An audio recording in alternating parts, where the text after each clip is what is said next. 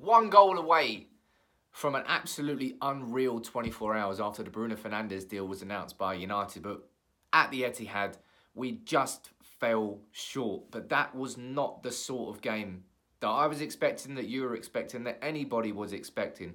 With City 3 1 up from the first leg at Old Trafford, everybody expected United to get absolutely pumped tonight by City. And in the first 15 20 minutes, it looked like that was going to happen. City with Bernardo Silva, Aguero, Kevin De Bruyne, Sterling, Mahrez, Gundogan, their front six was ridiculous. And they were playing with such an intense press that United couldn't play out from the back with it. But we stayed stellar. A couple of good saves from De Gea, a nice offside flag by the linesman, and United was still nil-nil. Then Fred goes, goes and gets a free kick, and Matic spanks it in with our first shot on target. 1 0 United, we go in at half time, and we are completely in this game. And the Etihad is nervous. The City players are nervous, and that continued throughout pretty much the entire game. But Matic, hero to zero, made the goal that got us in the game, and up until the point where he got sent off, was playing absolutely fantastic. But then he goes and gets sent off. United down to 10 men. At that point, we all knew it was game over. But we were hoping that United were going to get their chances, and we did. We had Dan James with that poor cross over the top to Harry Maguire. Martial had an absolute stinker of a game tonight, where we really needed him to show us the quality. It was just completely lacking. Jesse Lingard in that number 10 role. Good God, I'm glad we signed Bruno Fernandes. Do you see Solskjaer shouting at Lingard? Shouting him saying, if you lose the ball one more time, I'm taking you fucking off. What happened? He took him off.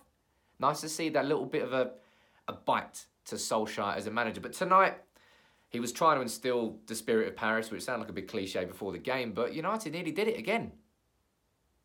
Against the odds, without Rashford, without McTominay, who are our two best players early this season, without Pogba, we went toe to toe there with City. It was a tough first 25 30 minutes with City just pounding, pounding, pounding, pounding our defence.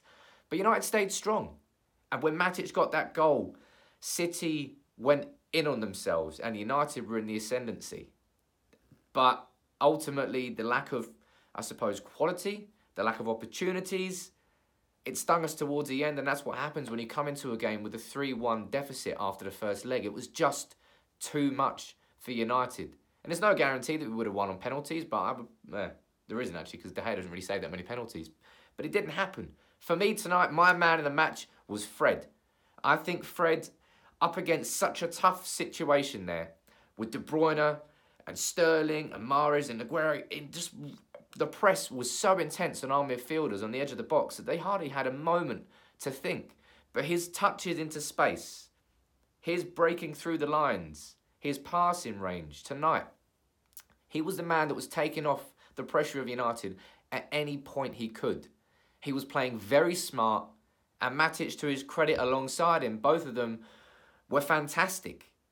Matic loses quite a bit because he got sent off, and at that point, the game really slipped out of United's hands. But tonight, I suppose you've got to take pride. Is you got to take pride in a local derby. United were going there expecting to get. Well, no, United weren't going there expecting to get pumped. Everybody expected United to get pumped, but we did not.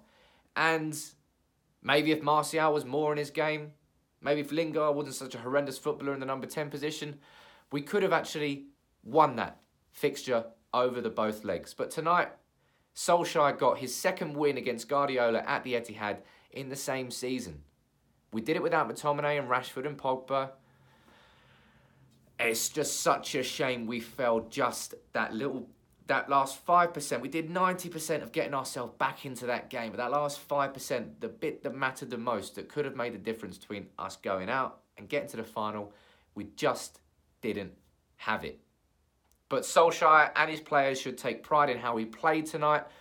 A few City fans giving the Munich airplanes absolute assholes. I hope they get found out, named, and banned by Man City. There's so much outrage, and Ed Woodward chant, I want to see the outrage at these Munich airplane gestures.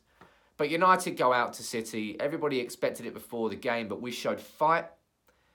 We had the goal. We just didn't have the second. We left ourselves with too much to do after that first leg. And for me, Fred was the absolute man of the match. Who was your man of the match? What's your reaction to the game? Shame. But Bruno Fernandes, send on a good note.